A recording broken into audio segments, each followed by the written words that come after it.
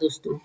दोस्तों आपसे कभी ना कभी एक सवाल पूछा गया होगा या फिर आपके मन में सवाल आया होगा कि आखिर एम एस एक्सल में रो और कॉलम कितने होते हैं? तो आज के वीडियो में हम आपको बताएँगे कुछ एम एस एक्सल के कुछ वर्जन में रो और कॉलम कितने होते हैं। तो दोस्तों चलिए शुरू करते हैं। दोस्तों आ, रो और कॉलम एम एस ऑफ़िस के वर्जन पर डिपेंड करते हैं। आखिर आप अपने एम एस ऑफ़िस का वर्जन कौन सा चला रहे हैं? आप 2003 चला रहे हैं 2007 चला रहे हैं 2010 चला रहे हैं। तो यहाँ पर एम एस ऑफ़िस के वर्जन के हिसाब से रो और कॉलम डिफाइन होती है। तो यहाँ पर हम चलते हैं, कुछ हमने लिखे हुए हैं यहाँ पर, उनके वर्जन और रो कॉलम तो यहाँ पर 2003 के वर्जन में एम एस ऑफ़िस के एक्सेल में पैंसठ हज़ार पाँच सौ छत्तीस रो थी और दो सौ छप्पन कॉलम थे दोस्तों।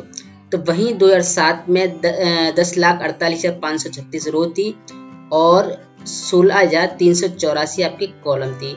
सेम दो हज़ार दस में भी दो हज़ार सात वाली थी, जिसमें दस हज़ार सॉरी दस लाख अड़तालीस हज़ार पाँच सौ छहत्तर रो थी और सोलह हज़ार तीन सौ चौरासी कॉलम थी।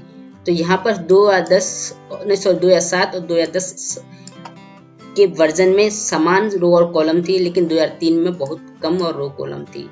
अब यहाँ पर बात आती है कि रो और कॉलम कैसे देख सकते हैं।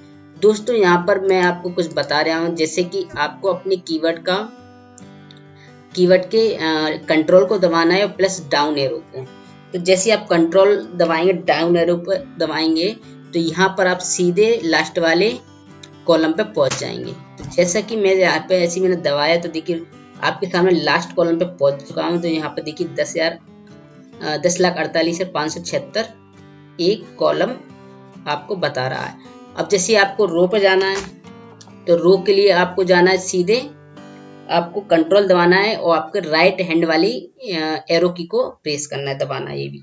जैसे मैं इस पर क्लिक दबाता हूँ तो लास्ट वाले कॉलम पे पहुँच जाता हूँ। लेकिन यहाँ पर इन्होंने डिजिट के हिसाब से नहीं बताया। इन्होंने अल्फ़ाबेट के हिसाब से काउंटिंग बताई है। तो यहाँ पर आप इसको मान के चले रो को यहाँ पर दस दस लाख अड़तालीस हज़ार पाँच सौ छिहत्तर।